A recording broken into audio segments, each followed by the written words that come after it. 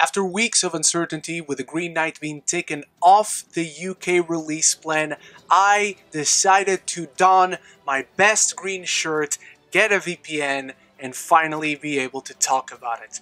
This is my review of The Green Knight. The Green Knight tells the story of Sir Gawain, King Arthur's reckless and headstrong nephew who embarks on a daring quest to confront the eponymous Green Knight, a gigantic emerald skinned stranger and a tester of men. Now, before I dive into my thoughts on The Green Knight, I will still not dive into spoilers despite you probably having seen this movie already way before I did. Throw all your thoughts down there in the comments below. Tell me your takeaways from it because this is one of those movies that is open to interpretation. It's very ambiguous in its meaning and storytelling, so throw it all down there. And while you're down there, if you're new to the channel, first of all, thank you so much for clicking on this video. Why don't you consider clicking that subscribe button because if you enjoy this, you will join a beautiful film fan community and you'll do wonders to get the content out there for more people. Arthurian legends are probably one of the, if not the oldest story of storytelling as we know it today. It has obviously evolved,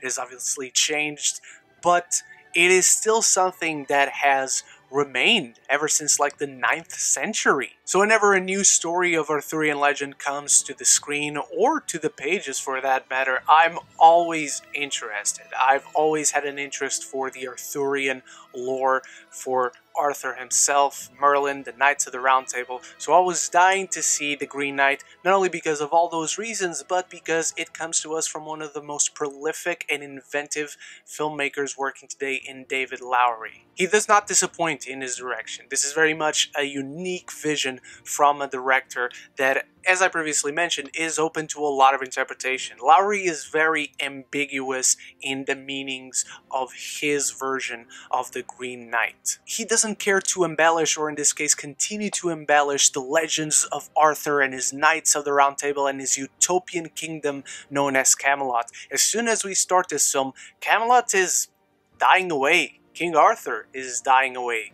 You see none of the glory, you see none of the victories, of the conquests, all of them together pulled off. You see what happens afterwards. What comes after all of that? And it's much more interesting. Gawain is the young rookie who is not even a knight. He spends his days and nights screwing dames around the town and drinking and slaving away, and he's not even interested in knighthood. Is when a test is thrust upon him that he finds himself an opportunity to be worthy of being a knight, to be worthy of becoming possibly the king once his uncle King Arthur passes away. Even Arthur himself, we see him decaying from the beginning of the film. He's an old man who is not glorified in any way as a heroic, he's just a man. And I think the setting stages of the film being presented in such a way from Lowery truly show what the film is actually about. Because yes, it's this knight who sees the spectacular things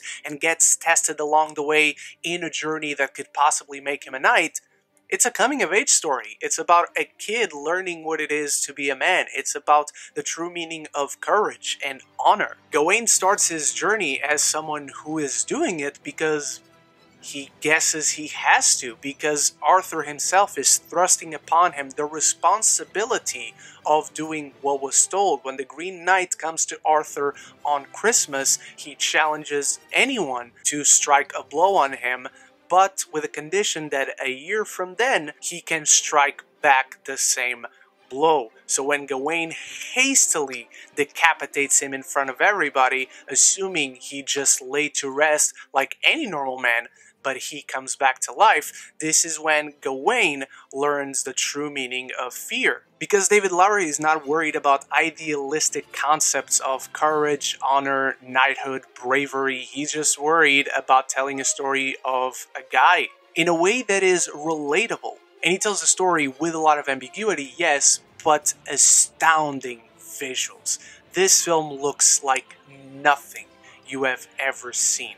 The gigantic scope, yet the personal themes and symbols captured in David Lowery's Green Knight are astounding to watch and to think about, to piece them together in their true meaning. Gawain's perspective is the classic one when we think about Arthurian legends. He sees the glory, he seeks that glory, he seeks the adoration of his people, of his uncle. He seeks to become something more, but what it is actually to become something more. And that is the question that David Lowery poses to us in The Green Knight. Dev Patel's Gawain, and yes, Gawain is the correct way to say the name, he's constantly tested throughout this film about his perceptions and ideas of what it is to be a man, to be brave, to have honor. And Lowery is brave enough to make this character fail and face his shortcomings, face his faults, and learn from them, most importantly. The Green Knight is a very mature film, a film that is brave enough to not give easy answers to our character nor to its audience. The visuals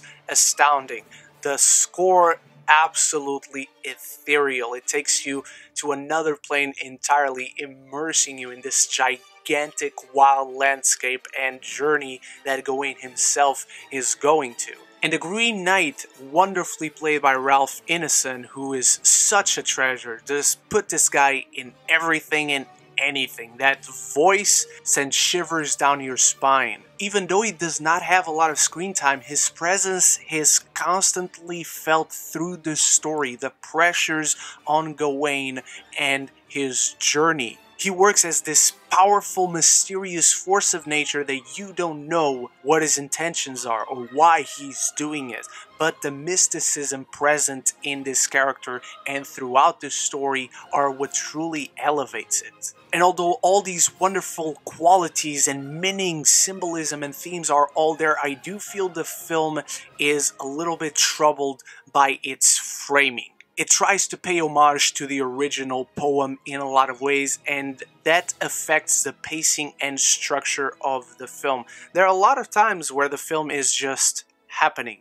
Certain scenes are occurring, and the point of those scenes has been made, but it just continues on going to linger in on Gawain's perspective. You understand why they're there, but to me it just set the film back a little bit. The Green Knight is a spectacular spectacular tale of manhood, and it's obviously not going to appeal to everyone, and it's easy to see why. A film set in the time of King Arthur in Camelot, as one young knight rises up to the ranks and seeks to find the honor in himself.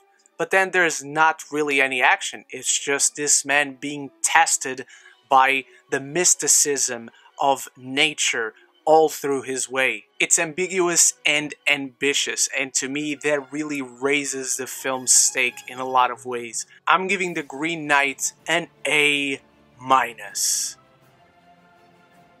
And so those are my thoughts on The Green Knight. We could have this conversation for days. I truly believe there's so much to discuss and dissect in this film. So let me know your thoughts if I missed anything that you found in the film, whether for the good or for the bad. Throw it all down there in the comments below. Thank you so much for watching. And if you are still watching but still haven't clicked the subscribe button, consider clicking it because if you're still watching, you enjoyed it on some level. Thank you so much once more. You are the best. I'll be back very soon with more reviews, and I hope to see you in those. So until then, love each other and love the movies.